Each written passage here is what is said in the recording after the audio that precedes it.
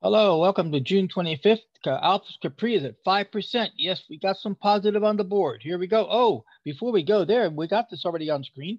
Uh, we're at 13.7 for the SPY and we are at 12.1 for stochastics. So we're still behind, but uh, we are slowly catching up. That's the important part. So now let's go on to our chart.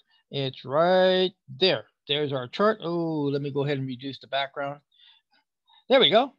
Okay. And we get rid of this. There's 12.5, which we calculated for the SPY. So uh, that's out of the way. Moving on.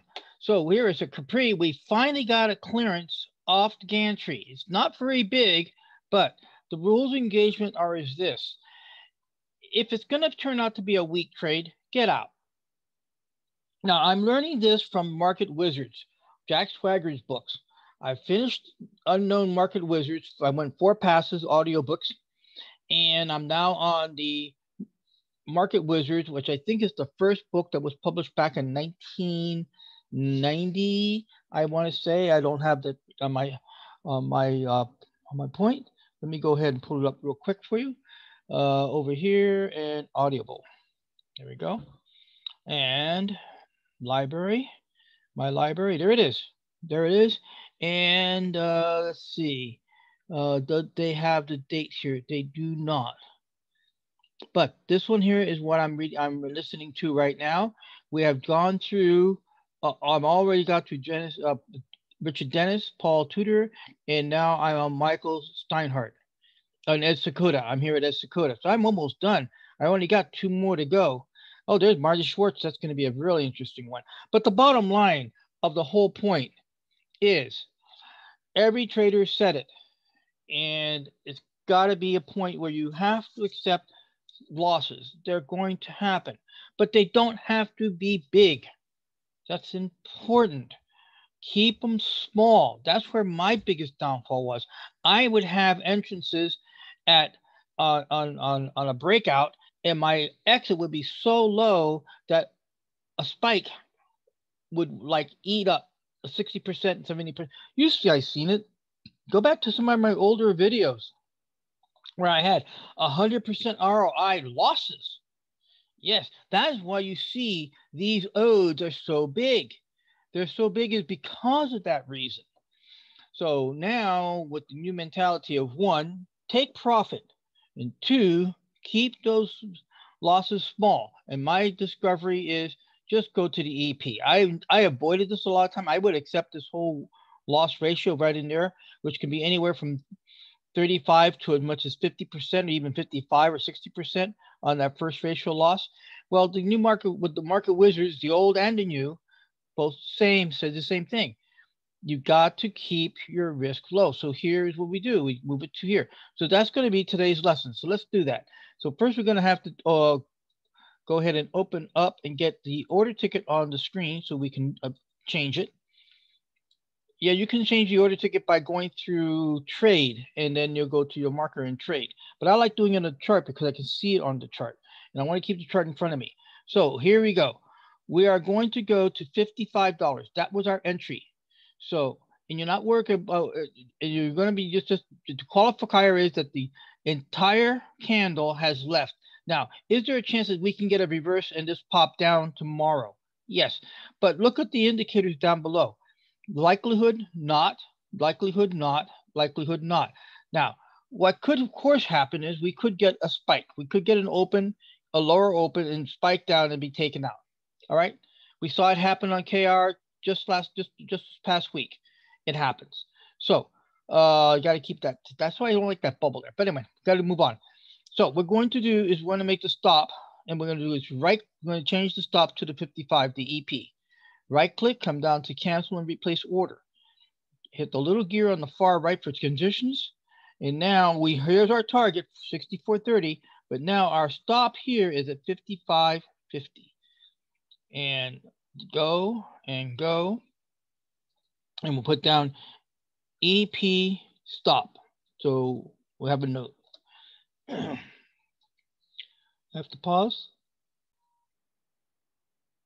My apologies, a little, little itch there in the back of the throat. So here we are. So now we're going to check to see and it's at $55. So now we have the EP stop right there. And if it gets stopped out, it's going to add a few dollars to the ode, but it's going to, it's eventually this will work its way through the system. That's the other point. I'll go ahead and why remember when you want to take the bubble off so it doesn't interfere with your real estate, come to the gear. Don't take it here. Don't take it on that X. Take it here. Show off, show orders, apply. Okay, and now it's gone. And now we have a we're able to have a, be able to concentrate. Come here to your uh, instructions and change this out and put it six slash 25 and EP stop. And now your notes are up to date. Oh, and you can put down the, uh, the values. So keep track of that. And okay, and done. So with that said, let's go on to Yelp. Yelp has moved moved up from its minus 13 and 9 yesterday, 9, 13 yesterday, I think it was. So now we're at 9 and we are not cleared. Now, even when we even when we clear this gantry and get up in here, because again, we have nice indicators in the up move and the general market is in the up direction, uh, we are going to be still in the negative because we had a 60 cents, 10%, we had a 10% slippage yeah, we are we paid over 60 cents more than with the anticipation of the of the EP that I had when I first got into this trade. It happens. Okay, so that that it is, and we're not going to be no change there. With that said, now it's time scanner time. Let's go ahead and do our scanner. So, oh, I was checking out something else earlier this morning. Let's go ahead and collapse that out. And now we'll go ahead and get our, oops, come on, there we go. Okay, load up. We're going to go for our primary. Since the market is in the uptrend, we are going to go to the uptrend stochastic. And there is going to be for the alphas. And away it goes. And let's see what happens. Oh, we got, we got hits. There we go. We are looking at three possible hits. So here we go. Let's run this real quick in the last two minutes of our time. We're going to go down to PG, uh, put it on the chart. There it is. It comes up on the chart. And we're now going to zoom in. And there. There is our, there's our, now you see here, I did a, I did a downtrend test here and it was, it wasn't a trade. It was just uh, checking it out to see how it on, on the scanner test and it didn't work. So I will go ahead and clean that up. Come over here now, we'll grab our Fibonacci and we're going to go from the high of the candle to this dip low. Now, where is that dip low? Right here. Right there is a dip low, and the dip low is coming in at, dip low is coming in at, uh, the dip low is, it is 132.32, so I'm going to make it 130.30, 132.30. So 132.30, and the high is 135.54. I'm going to make that 135.55. And that is it. And that is going to be my setup for tomorrow or this afternoon. Now I got to qualify the options.